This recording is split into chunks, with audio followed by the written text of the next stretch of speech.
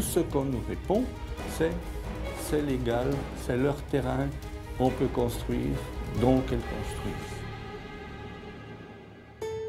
Cela fait plus de 50 ans que Claude habite à Ourin, dans l'entité de Lessines.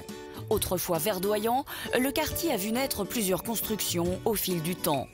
Et aujourd'hui, c'est un logement de 14 appartements sociaux qui devrait y voir le jour. Impensable pour se pensionner.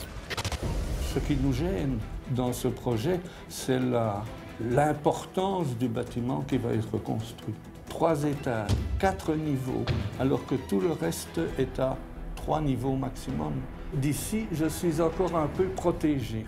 Mais mes voisins, ils sont ici derrière, vont se trouver devant un mur, véritablement. En hiver, lorsque le soleil est très bas, s'il y a du soleil, ils ne le verront pas, ils ne le verront plus. À l'annonce de cette nouvelle en décembre 2016, Claude et ses voisins décident de constituer un collectif et de lancer une pétition. Près de 40 signatures seront alors récoltées contre le projet dont l'emplacement pose question.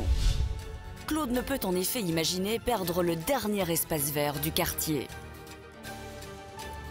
La ville de Lessines dispose d'hectares complets de terrains libres qui pourraient être reconstruits. Et on vient, sur le seul terrain convenable, on vient ériger un, un mastodonte, un mastodonte, un bunker. Selon le collectif, il y aurait assez de logements sociaux dans le quartier.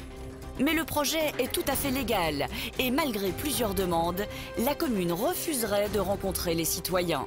Nous avons alors contacté l'échevine du logement pour en savoir davantage sur le dossier. Ça fait des décennies que sur ce petit coin-là, c'est un coin de vertu. Ça va, oui, perturber les habitudes du quartier. Je pense que ce qu'il faut, c'est du consensus. On ne veut même pas nous écouter, on ne veut même pas discuter. En collaboration avec la ville, ce projet se construit entre la société de logement et la région wallonne. Et dans ce genre de cas, une consultation des citoyens ne serait pas obligatoire selon les Chevines, qui se dit pourtant ouverte à la discussion. Il nous appartient à nous, mandataires communaux, de privilégier donc la demande publique, l'intérêt général, que de répondre ou satisfaire des doléances fondées par des particuliers. Et si on a dit qu'on ne changeait plus la structure même du bâtiment, on a dit qu'on restait ouvert à des possibilités d'aménagement des alentours. Mais pour Claude, cette réponse ne suffit pas. Entouré de ses voisins, ce pensionné aurait en effet déjà trouvé la solution. C'est transplanter ce bâtiment, le prendre tel qu'il est, tel qu'il a été conçu, etc., et le transporter à un autre endroit. C'est le phénomène NIMBY en, pleine puissance, puisque bon, on est d'accord, on veut du social, on veut ci, on ne on va pas s'opposer.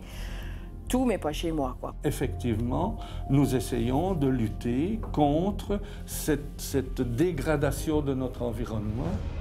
Selon les Jevines, des logements sociaux devraient également voir le jour à d'autres endroits de la ville.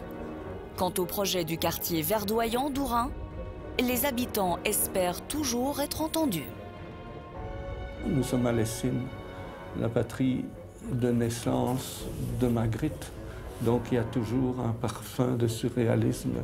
J'espère finir mes jours ici. Je continuerai à me battre tant qu'il sera possible de le faire, jusqu'au moment où peut-être je capitulerai ou peut-être j'aurai raison.